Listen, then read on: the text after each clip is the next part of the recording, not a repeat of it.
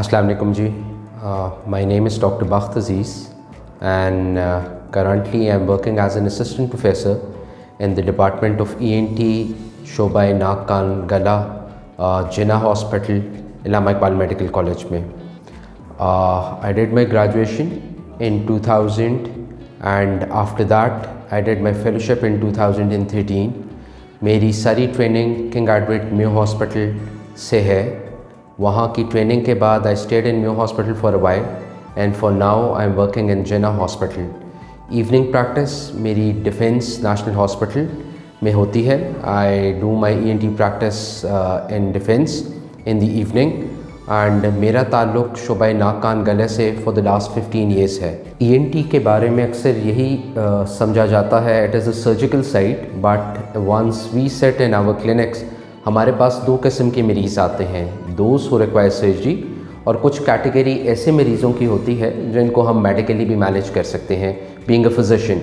सो एक क्लासिकल बीमारी जो हमारे ई एन टी सेटअप में सबसे ज़्यादा होती है दैट इज़ नेज़ल एलर्जी नाक का नज़ला ज़ुकाम हर दस में से पाँच बंदों को होता है। Most of them they end up with the complications of nasal allergies जिनको नाक के हदूद या नाक के पॉलिप कहा जाता है। हर नाक का हदूद डजेंट रिक्वायर सर्जरी इसका इलाज ऑपरेशन नहीं है। उसको हम दवाइयों के ज़रिए भी मैनेज कर सकते हैं and through medication as well so my purpose through this platform would भी आपको गाइड कर दें कि नज़ले ज़ुकाम को अगर हम प्रिलिमिनरी पहले ही रोक लें तो automatically it doesn't end up in stage जहाँ नज़ला ज़ुकाम takes a form of nasal polyp और ये नज़ला ज़ुकाम सिंपल दवाइयाँ और नाक के स्प्रे से काबिल इलाज है। पेशेंट की लाइफ कंफर्टेबल हो जाती है, जो अमूमन कंप्लेंट नेज़ल ऑब्स्ट्रक्शन और नाक बंद होने की होती है। दैट गेट्स रिलीव्ड वो वापस नाक से सांस लेना शुरू हो जाता है and automatically with the breathing of the nose नाक में नज़ला ज़ुकाम की कमी काफ़ी हद तक वाक़ होती है। फिर कुछ मरीज़ ऐसे होते हैं, जिनमें ये नज़ला ज़ुकाम कम्स टू अ स्टेज जहाँ नाक के हदूद through medical management are unmanageable उनमें नाक की खुशबू बिल्कुल गायब हो जाती है। नाक से सांस लेने में काफ़ी दुशारी पेश आ रही होती है। ये वो मरीज़ होते हैं जिनमें दवाइयाँ गलत इस्तेमाल कर रहे होते हैं या दवाइयाँ वक्त पे इस्तेमाल नहीं करते। लेकिन ये तमाम अशखास भी अगर दवाइयाँ जो रेगुलर हम मेडिकेशंस देते हैं, टॉपिकल नेज़ल स्टीरॉइड्स की और एंटीहिस्टामिन्स की, उन दवाइयों से ये काफ़ी हद तक बेहतर और अफाका इस्तेमाल कर सकते हैं। But then if it is untreatable दूसरी चीज़ आ जाती है जी नेज़ल पॉलिप्स या नाक के हदूद की कॉम्प्लिकेशन ये वो पॉलिप्स हैं जो नाक में पड़े हैं। कल को अगर इधर ही पड़े रहें they might go into the eye they might go into the brain so आँख की कॉम्प्लिकेशंस और दिमागी कॉम्प्लिकेशंस आना शुरू हो जाती हैं। सिवियर हेडिक्स की सूरत में वॉमिटिंग की सूरत में एंड लॉस ऑफ़ विजन नज़र कमज़ोर होने की सूरत में। So all of those nasal polyps जब नाक में इस कैटेगरी पे आ जाएँ, उनका बर वक्त तशखीस और इलाज मुमकिन है। And that is what we are here for कि complications rather than out of the hand या आउट ऑफ़ द बॉक्स आ जाए जहाँ आप उन्हें मैनेज ना कर सकें। बेहतर यही है कि उनको सर्जिकली मैनेज कर लिया जाए। और एक दफ़ा जब नेज़ल पॉलिप्स निकल जाते हैं एक और मेथ या एक और we think it comes back तो नेज़ल पॉलिप एक दफ़ा अगर सर्जिकली निकाल लिए जाएँ they don't come back and they can be managed very comfortably through medication uh, there. I'm thankful to InstaCare for providing me a platform, ताकि इस platform के ज़रिए जो लोग घर पे बैठे हुए हैं, कम अज़ कम उनको थोड़ी सी आगाही हो जाए कुछ नाक, कान, गले की डिज़ीज़ के बारे में। अमूमन हमारे पास आउटडोर में पेशेंट्स यंगर एज ग्रुप 10 साल से कम, और बड़े भी क्रॉनिक थ्रोट इन्फेक्शन जिसे टॉन्सिलाइटिस कहा जाता है, उस सिलसिले में हमारे पास आते हैं। टॉन्सल्स के इन्फेक्शन अमूमन छोटे बच्चों में ज़्यादा होती है। इसकी अमूमन वजह यह है कि छोटे बच्चे बिलो टेन ईयर्स उनका टॉन्सल्स का साइज़ काफ़ी बड़ा होता है। So once this it is big automatically गले के इन्फेक्शन के भी चांसेस ज़्यादा होते हैं। एक अमूमन ख्याल पाया जाता है कि टॉन्सल्स की वजह से बच्चा खा पी नहीं रहा और ग्रोथ नहीं बढ़ रही। इस तरह की भी कहावत आ, इसको हम हम ई e की ज़ुबान में गलत कहेंगे उसकी वजह यह है कि टॉन्सल्स का साइज़ तब बढ़ता है अगर रिकरेंट इन्फेक्शन हो रही हो इसमें। अमूमन बच्चों में नज़ला ज़ुकाम कॉमन होता है, जिसकी वजह से बार बार टॉन्सल्स की इन्फेक्शन हो रही होती है। और टॉन्सल्स की इन्फेक्शन अगर ट्रीट ना की जाए तो पहला काम जो बच्चा करता है ही स्टॉप्स ईटिंग फ़ूड खाना खाना वो छोड़ देता है। अमूमन ही बिकम्स मेलनरिश्ड वज़न कम होना शुरू हो जाता है। वही बच्चा जो ग्रो कर रहा होता है, उसके माइलस्टोन्स पीछे जाना शुरू हो जाते हैं and automatically his curiosity in life start declining parents की अमूमन शिकायत होती है कि जी पढ़ाई में ध्यान नहीं दे रहा and automatically the quality of the life starts coming down so tonsillitis yes is dangerous in a sense कि ना सिर्फ़ ये एक बीमारी है, बल्कि अमूमन बच्चे की क्वालिटी ऑफ़ लाइफ भी ख़राब कर रही होती है। इसकी अमूमन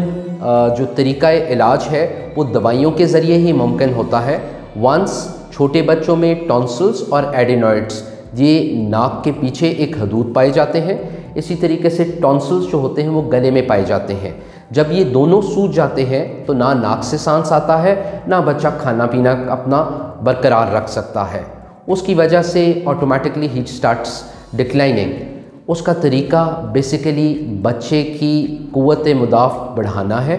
ये इन्फेक्शन ख़त्म करना है। And that is manageable through antibiotics बहुत ऐसी बेहतरीन एंटीबायोटिक्स आ गई हैं जिनको दे के हम टॉन्सलाइटिस ख़त्म कर सकते हैं। लेकिन कुछ बच्चे जो अमूमन सोते हुए खराटे ले रहे हों या सोते हुए घबरा के उठ रहे हों, जिनको सांस ना आ रहा हो, उन बच्चों में अमूमन वजह बहुत हाइपरट्रॉफिड बड़े टॉन्सल्स या एडिनॉइड्स होते हैं। अमूमन वो parents they seek the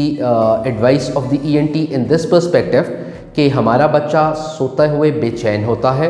करवट बदल रहा होता है ही कीप्स गेटिंग अप बार बार उठ के कहता है कि मुझे सांस नहीं आ रहा खाना पीना उसका बिल्कुल ख़त्म हो गया है so in all such patients जिनके टॉन्सल्स और एडिनोइड्स बहुत बड़े हो जाए उनमें नॉर्मली हम एडवाइस फिर सर्जरी करते हैं रादर देन वेटिंग क्योंकि जितना आप वेट करेंगे you are actually losing time अगर आप टाइम ज़ाया कर देते हैं the child grows up and automatically by the time he reaches 15 और 18 ईयर्स ऑफ़ एज इन्फेक्शन अपनी जगह बरकरार होती है and automatically that specific area of his life is actually gone तो हम रिकमेंड ये करते हैं कि जिन बच्चों में खुदा खास तक कॉम्प्लिकेशन हो टॉन्सल्स की जिनमें खाना पीना बिल्कुल ख़त्म हो चुका हो, सेहत बरकरार ना रखी जा सके, पढ़ाई में वो डिक्लाइन कर रहे हों सोते हुए सांस ना आ रहा हो। In all of those patients early management of the tonsils and the adenoids is advisable. And this is managed either दवाइयों के साथ भी मैनेज करते हैं या थ्रू सर्जिकल प्रोसेस और अब लेज़र और कोएबुलेशन एक नई टेक्निक आ गई है, जिसमें टॉन्सिलेक्टमी का जो ऑपरेशन है इट इज़ एब्सोल्युटली पेनलेस बच्चा ही is usually discharge on the same day ना उसे दाखिल होने की ज़रूरत होती है and automatically after tonsillectomy he goes back home the same day and he is absolutely painless so ये जो नई टेक्निक्स हैं, इनके इस्तेमाल से क्रॉनिक टॉन्सिलाइटिस और क्रॉनिक एडिनोइड्स का तरीका इलाज बहुत कंफर्टेबल हो गया हुआ है। In other important discussion in ear nose and throat नाक कान गले में कान की तकलीफ़ और कान की डिज़ीज़ हैं। I am thankful to InstaCare ताकि उनने ये प्लेटफॉर्म हमें दिया ताकि हम कान की बीमारियों के बारे में आपको आगाह कर सकें। आ, कान खुदा की एक ऐसी नेमत है जिसकी वजह से हम being human beings we are able to listen हम सुन सकते हैं।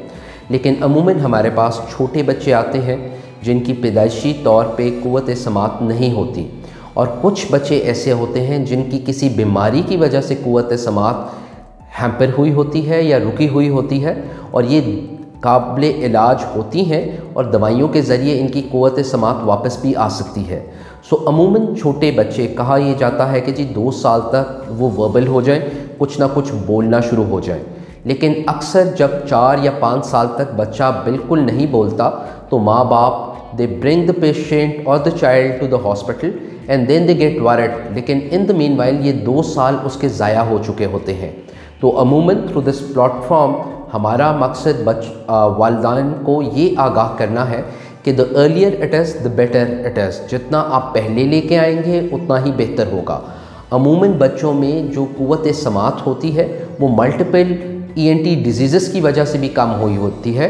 एडिनोइड्स, जिसका ज़िक्र हम अक्सर करते रहते हैं, एक ऐसे हदूद नाक के पीछे होते हैं, जिनकी वजह से कान के पर्दों के पीछे पानी आ जाता है। And such a child with fluid behind ear जिसे हम ओटाइटस मीडिया या कान के पर्दे के पीछे पानी वाली बीमारी कहें, उनकी कुत समात नहीं होती, और ये काबिल इलाज है। दवाइयों के ज़रिए ऑटोमेटिकली कान के पर्दे का पीछे वाला पानी ख़त्म किया जा सकता है and the hearing can be restored mostly this children what they require is is nasal drops जो ऑटोमेटिकली नाक के पीछे वाले हदूद गायब कर देते हैं एंड ऑटोमेटिकली नाक और कान का जो पैसेज है दैट इज़ ओपन और कान के पर्दे के पीछे जो दबाव या पानी होगा, वो खारिज हो जाता है and the child is able to hear वो वापस समात उसकी बरकरार हो जाती है। So all of those childrens वो छोटे बच्चे जो दो साल तक नहीं बोल रहे, उनकी proper evaluation and screening is very important दूसरी कैटेगरी उन बच्चों की आ जाती है जो तीन साल एंड अबव बिल्कुल नहीं बोलते उनमें जी the nature's mechanism the science का जो अपना मैकेनिज़्म यही होता है कि बच्चा तीन से चार साल तक अडेप्ट करता है, सुनता है और चार साल इन ऑनवर्ड्स फिर बोलना शुरू करता है। So any of those children अगर नहीं बोल रहे, उनकी भी early intervention is very important हमें ये जानने की ज़रूरत है कि आया उनके कान के तमाम अज्जा पूरे हैं या कान की जो तारें दिमाग तक जा रही हैं, जिन्हें हम नर्व्स कह रहे हैं आर आइदर देयर फंक्शनल ऐसे तो नहीं any of those nerves are non functional and an early intervention in all of these cases is very important अगर इन बच्चों को हेयरिंग एड का ट्रायल दे दिया जाए, या ऑटोमेटिकली कॉकलियर इम्प्लांट का कंसिडर किया जाए तो उनकी कुत समात वापस आ सकती है। And they can be useful citizens rather than making them handicapped हमारी early intervention through screening is very important in all of these patients adult hearing loss की मेजर वजह एक तो ऊँची आवाज़ है number two wax in the ear है। हमारी काफ़ी आबादी ऐसी है जिनके कान में वैक्स होती है। And they don't clean their ears physically कान साफ़ करना पॉसिबल भी नहीं होता। लेकिन कान में पानी, कान में कॉटन बट पोक करने की वजह से ये वैक्स एक्यूमुलेट हो जाती है। और जितनी वैक्स कान में जमा हो जाए तो automatically 50 percent of the ear stops working आपकी कुत समात में 50 परसेंट तक कमी आ सकती है। So all of those adult जितने बड़े हैं, हमारे एडल्ट हैं, जिन्हें महसूस होता है कि उन्हें ऊँचा सुनाई दे रहा है या सुनने में तकलीफ़ आ रही है they should get their ear screen जितना कान स्क्रीन होगा may be there wax in early intervention in that case would bring the hearing back and they are able to get the hearing on the normal level जो उनकी पहले थी। So wax is one of the major causative factor जो पाँच में से दस लोगों के कान में होती है and as a result they are unable to hear ये कुछ मैनेजेबल रीजंस uh, हैं जिनसे हम कुत समात वापस लेके आ सकते हैं and air as itself controls balance as well चक्कर आना आ, सीधा ना चलना वॉमिटिंग आना कान में आवाज़ें आना जिन्हें हमारी ज़ुबान में टेनाइटिस कहते हैं ये तमाम कान की बीमारियाँ हैं जिनको दवाइयों से हम मैनेज कर सकते हैं। सो अगर you have hearing loss and if you you feel that there is a little bit of ringing sound जो कान में आती हैं, घंटी बजने की आवाज़ें, सीटी बजने की आवाज़ें, या आपको चलते फिरते अनस्टेबल गेट महसूस होता है you are unable to walk imbalance करवट लेते हैं तो दुनिया घूमती है, चक्कर महसूस होते हैं। So these are diseases of the ear कान का अंदर वाला हिस्सा, जिसे हम इनर एयर कहते हैं, एक काफ़ी डेलिकेट पार्ट है कान का and it's a very complicated part is well लेकिन automatically if it gets neglected ये चक्कर इतने ज़्यादा होना शुरू हो जाते हैं, जिसमें आपकी day to day activity hamper होती है you are unable to walk and at times accidentally you might fall as well so before that वो लोग जिनके कान में शाँ शाँ की आवाज़ें, जिसे हमारी ज़ुबान में भी लेबल टेनाइटिस या वो लोग जिनके हेयर हेयरिंग लॉस एक्यूटली कम हो रहा है, या वो लोग जिनको चक्कर आ रहे हैं they have to get a proper E N T evaluation for the ears because all of this evaluation gets us to a diagnosis which is medically manageable rather than they end end up खुदा न खास्ता कोई ऐसी complication में वो गिर जाएँ and then they end up तो वो ट्रीटमेंट बहुत लंबा हो जाता है। So this is the purpose of आगाही ताकि हम ear nose and throat disease के बारे में आपको थोड़ा सा बता दें और एयर की ना सिर्फ़ सुनवाई, बल्कि एयर का एक इंपॉर्टेंट काम बैलेंस मेंटेन करना भी है। So anyone who is having problem in hearing या anyone who has problem in maintaining his gait a steady gait his unable to walk या उन्हें चक्कर आ रहे हों they have to get a proper E N T evaluation in this case बदलते हालात और कोरोना की वजह से हॉस्पिटल की एक्सेस पॉसिबल नहीं आना जाना आसान नहीं। There are so many social and financial constraints जिसकी वजह से पीपल अप, जो लोग होते हैं, वो अपनी बीमारियाँ घर लेके बैठ जाते हैं। इस आलमी वबा से जहाँ हम लड़ रहे हैं, वहाँ हमारा फ़र्ज़ है कि through a platform that has been provided by InstaCare on Facebook page Insta की अपनी कम्युनिटी है आपको अगर कोई भी नाक कान गले की बीमारी के मतलब कोई भी आगाही चाहिए हो आपको किसी किस्म की कोई एडवाइस चाहिए हो तो it's always open it's absolutely free you can be a part of that InstaCare community on Facebook ताकि हम आपको वहाँ हेल्प आउट कर सकें जितना पॉसिबल हो so my request to all of the viewers would be to subscribe InstaCare community on Facebook and be a part of the community so that we can grow it up. Thank you, Jay.